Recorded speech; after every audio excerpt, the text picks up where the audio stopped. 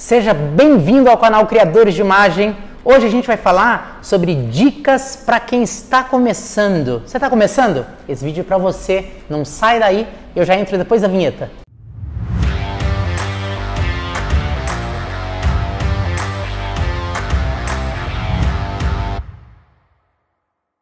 Quando a gente está começando, a gente tem a sensação de que está mais perdido que segue tiroteio. A gente sofre também com acúmulo de informação, já que a gente vive na época da internet. Então, ao contrário do desafio que eu tive há quase 30 anos atrás, que era a dificuldade de acesso a perceber o que era bom, hoje a gente tem demais, muitas ideias, ideias conflitantes, é, ícones da internet que faz com que a gente sempre esteja inseguro daquilo que a gente está fazendo. Pois é, eu estou nessa caminhada há 30 anos, 18 anos, trabalhando com a formação e com o desenvolvimento de cortadores e eu tenho dicas especiais para você. A primeira delas é seja honesto com suas capacidades. Isso não quer dizer nem se colocar para baixo nem para cima demais. É ter clareza absoluta daquilo que você já pode fazer. Percebendo que se você não pode fazer alguma coisa, não é limitação nenhuma para futuro. A gente está aqui mesmo para crescer, para estudar, para desenvolver e ampliar as nossas limitações. Mas nesse momento, é fundamental que você faça silêncio, olhe para dentro de você mesmo, perceba aquilo que você já faz com fluência. Isso pode ser vendido. Aquilo que você tem dúvida, que ainda não sai de maneira natural, não pode ser vendido. Você precisa praticar mais e aí sim colocar o seu talento à disposição. Então é preciso fazer esse mapeamento. Você se sente seguro? Percebe qualidade no que você faz?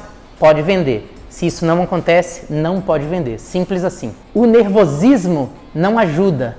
O preparo, sim. Mesmo aquilo que a gente já sabe fazer, pode ser que a gente encontre um vilão no meio do caminho, que é o nervosismo. Às vezes, uma cliente muito chique, agressiva no falar, com pouco tempo. Todas essas características fazem com que a gente possa, de repente, encarar uma sensação de eu esqueci tudo, nossa, travei, não sei nem o que eu estou fazendo aqui. Se isso acontecer com você, é muito importante respirar, fazer um preparo anterior. Então, para isso, vale revisar suas notas, assistir um vídeo, se preparar para aquilo que você já faz, mas você precisa ter clareza absoluta nas etapas que você vai enfrentar, sempre tendo a clareza que depois do primeiro passo, o resto é tudo surpresa. Então, a gente precisa mesmo estar o mais preparado possível para lidar com as adversidades que podem surgir no meio do caminho. Falando em cortes, trabalhe de maneira objetiva e só revise o seu trabalho na etapa seca. Muitas vezes, mesmo que você jogue muito limpo e trabalhe de maneira simples,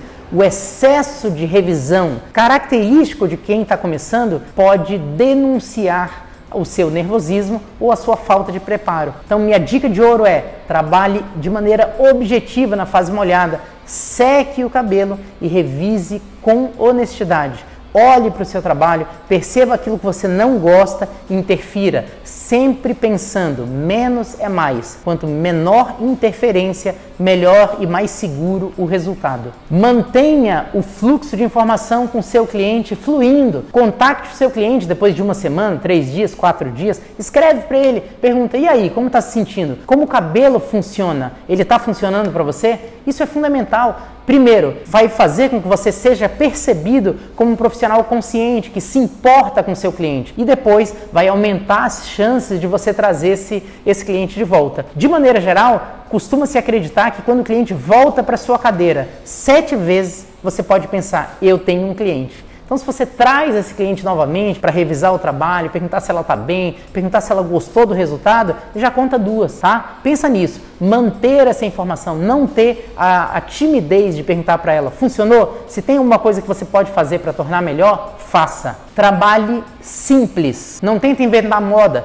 Tem coisas que a gente vê que só funcionam no vídeo, nos filmes de ação no mundo da fantasia de Harry Potter. Para você fazer um corte de cabelo, você precisa entender o que está acontecendo, você precisa ter clareza no pentear, nas sessões e principalmente na mecha guia. Quanto mais simples você vai trabalhar, mais controle e segurança você vai ter. Comece com os cabelos longos, por mais é, controverso que isso possa parecer, os comprimentos longos são os mais fáceis de aprender, são os mais seguros da gente fazer. À medida que você se sentir à vontade com os cabelos longos, você avança para os cabelos médios e depois para os curtos, nessa ordem. Normalmente os cabelos longos são simples e o cliente costuma ficar muito feliz se você simplesmente obedecer essa regra. Só tire aquilo que foi combinado. O cliente pediu um dedo, um dedo você vai tirar. Tirar mais só vai fazer você quebrar o cristal de confiança que você estava criando com aquela nova cliente. Então, se você está começando, jamais incorra nesse erro. Espero que você tenha gostado. É claro que existem muitas outras dicas. Quer me ajudar? Escreve aqui nos comentários. Quero saber o que, que você pensa. O que mais que você adicionaria nessa lista que eu comecei hoje? Também não esquece de deixar o seu curtir, ativar o sininho para que você não perca os novos vídeos aqui no canal do Criadores de Imagem, tá bom? Obrigado pela presença, até uma próxima vez.